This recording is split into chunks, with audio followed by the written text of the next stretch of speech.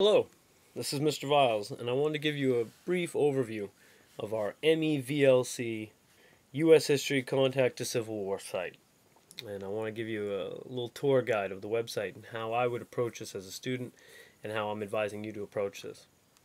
First things first, when you come to the class website, you have already made your account through MEVLC and you have all shared a folder with me, a Google Docs folder and that's going to be fantastic and it's also going to be essential because as we go through the year you'll be doing most of your assignments using google docs tools uh, and you'll be using your google drive your google docs account uh, to hand those assignments in to me. But first on our home page uh, you already have seen this and you've already clicked for the course book. We'll talk more about it in a moment.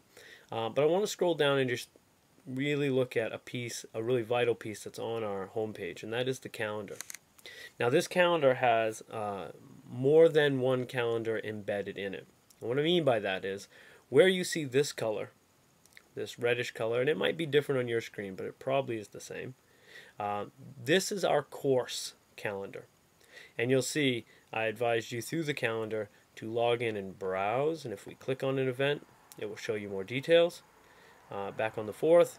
And I advised you to post introduction and discussion back on the 6th. Uh, these were introductory assignments. Don't worry if you haven't gotten to it yet, um, but I really do want everyone to jump in there. You'll see starting next week is when we really officially uh, start Unit 1.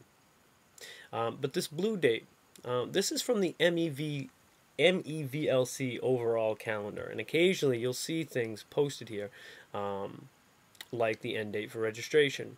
And that is not coming from me per se, uh, that is coming from uh, the overall MEVLC. So uh, by looking at this calendar, uh, the reddish is us, the blue is from MEVLC. Now, with a quick glance, you can see that I have blocked out about two weeks for Unit 1. And if we scroll through, and you would do that by coming up to this button, uh, this is what it looks like for October, and you'll see uh, pretty much I've blocked out two weeks for Unit 2 and two weeks for Unit 3, and that is my approach to the course in terms of pacing. Um, this is an online course and you will be engaging with this very differently than other students. Um, you might want to do a lot of work on a single Thursday night. Uh, and you might get a lot of it done, most of a unit done in one night, perhaps. And that's entirely fine and appropriate. That's how we want you to use this course. Uh, we're assuming that you are taking this class. Maybe you just want the online experience. But some of you may have really busy schedules, uh, maybe full course loads through your high school, maybe your athletes or your music programs. Uh, you have a job, and therefore it's going to be important that you get a chance to use this course flexibly when it comes time to do your work. What I'm providing you is a pacing guide. Um, each of these units should take you about two weeks to do. Um, if you go faster than that, that's fine. If you go a little slower than that, that's fine. The one thing I would caution you right off the bat in the past, students who have taken online courses that I've taught, some of them have found difficulty in really being self disciplined and keeping a good pace. And what happened was, of course, uh, the class snowballed on them, and suddenly it would get towards the end of a quarter or near the end of a semester, and they had just so much work to do, it had become impossible. Um, you want to keep pace with this class, you want to keep up on the work, you don't want to let it all get ahead of you. and uh, and then you have to do a whole lot of work in maybe a single week. Uh, that would not be appropriate, and uh, certainly I would have contacted you prior to that. Uh, because I'm going to look for work to come in, or at least you're asking questions, you're trying to complete work, uh, certainly on a weekly basis, and uh, we'll be touching base. The one unit that is different in pacing than the others is Unit 4. You'll see it starts here on October 22nd, and it doesn't end until November 11th. I've given you an extra week uh, because there are uh, there's one more assignment in that unit than, than the others. It's uh, the unit that covers basically the American Revolution, and there's a little bit more content we had to go over. Therefore, I gave you a little extra time. Um, and if we look at my pacing guide and we look at December, you'll see I didn't block anything off around that winter break. Um, uh, I actually gave you a, a vacation there. Um, but you'll see, for instance, in November, we work, uh, I blocked right through Thanksgiving. And of course, I don't anticipate that anyone's going to eat a big plate of turkey and then come do their online course. But because this is asynchronous, you might have a break there from your traditional school, uh, maybe a three-day weekend, you know, uh, three-day break. Um, but you may still want to log in and, and, and keep up with MEVLC. Uh, in fact, some of you might be looking for those vacation times as moments when you can really get ahead here because your workload may be less with your traditional classes.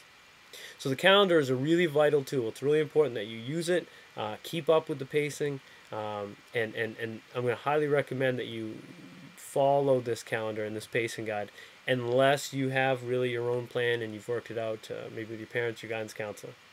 Now, scrolling back up the top, over here where it says course overview, if you just hover your cursor over it, you'll see you get a drop down menu. Each one of these is a unit of the class. There are nine total units and then a course outcome. This is kind of a course review, something the equivalent of our final exam. Uh, we'll talk about that much, much later. But really what I want you to pay attention to is uh, you, if starting September 10th, you're going to engage with Unit 1, you would click right here on Unit 1. And if your network connection is sad, then it might look like that. Uh, but if you hit refresh, all things work to those who are patient, and here it comes. Now, this gets into how to schedule and how to organize yourself as a student in MEVLC. The first thing I'm going to recommend is that I would look at the calendar and say, okay, I should be on Unit 1. I then go to the Unit 1 page, and as it loads up, I see, I'm just going to take a quick scroll down. I see um, there is a 1.1. Now this is a, a kind of naming convention that we have. Uh, uh, 1.1 means Unit 1, Assignment 1. And as I scroll down, here is Unit 1, Assignment 2. And I'm just going to scroll down. And I'm not really reading this right now, I'm just skimming. And there's Unit 1, Assignment 3. And I'm going to scroll down and click here for unit reflection. Okay. I now have a pretty good sense of what's on the page. And if I'm a student, I scan down through the unit page and then I go over to my course book. Now, as you know, uh, the course book you've already copied in, you've put your name in here. Um, this is going to be how you hand your final assignments in to me. That is one of the ways we use the course book. Um, this is your handed in folder so that I can actually assess your work. But in addition to the hand in folder, this is really a great class organizer for you. It's really an essential organizer. And so if I'm looking at Unit 1, I've just scrolled down the page. I'm going to click down here on this tab that says Unit 1. And now what you're getting is, here are the assignments the assessments that you have by title, by name 1.1, 1.2.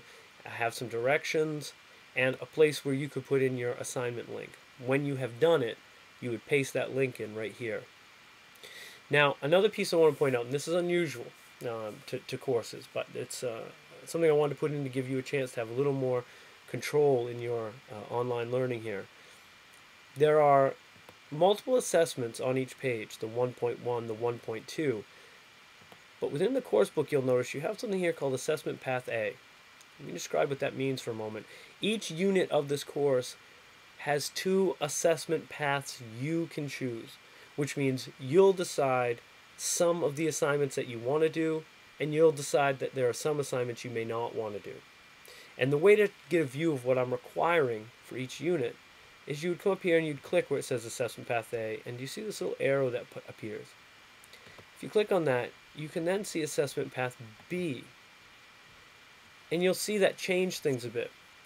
Um, and, and to tell you what this means, in Assessment Path B, you'd be required to do the assignment 1.1, you'd be required to do the assignment 1.3, and the assignment 1.4. Now, if I scroll back up to Assessment Path A, you will notice in Assessment Path A you are required to do Assignment 1.1, Assignment 1.2, and Assignment 1.4. That one's a little hard to see, but it's in there.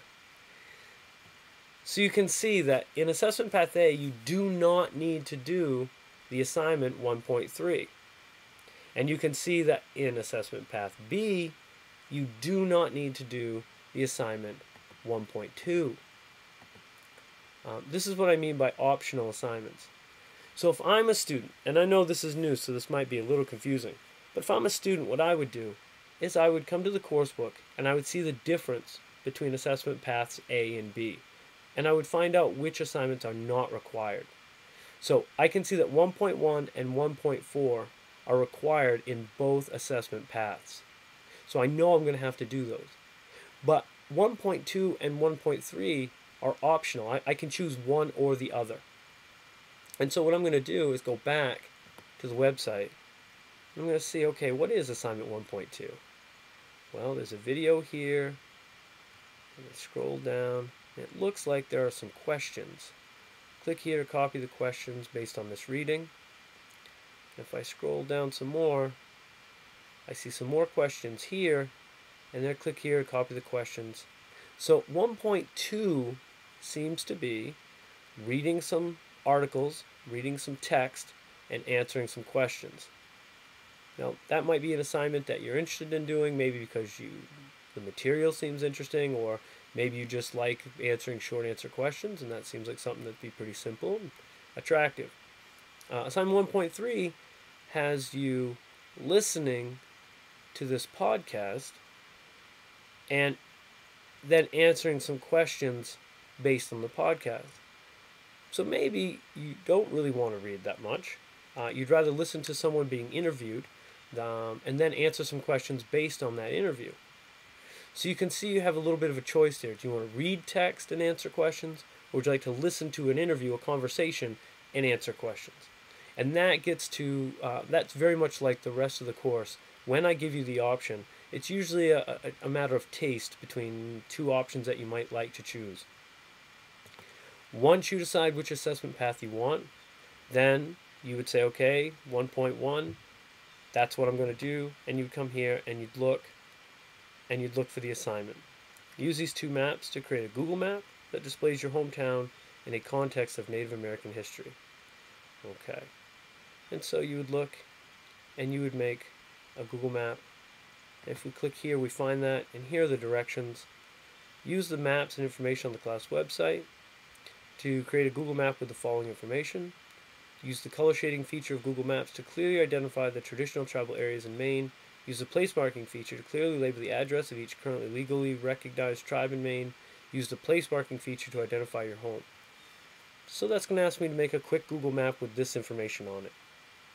One thing you're going to see right away, an online class requires you to really be a little more self-directed, a little more self-organized, and most importantly, requires you to read directions carefully so that you know exactly what you need to do. Now, there will always be questions, and I know that going in. And what I want you to do is ask those questions.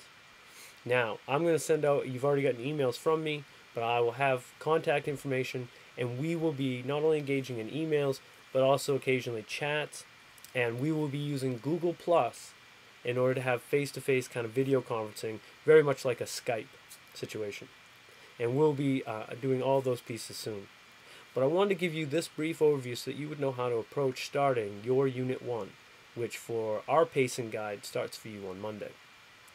If there are any questions, be sure to email me back at the address that I email you from. It's right up here. It's mrviles at gmail.com. I have also an MEVLC address, uh, and either one of those would be appropriate to email me. I look forward to seeing you all in video conference.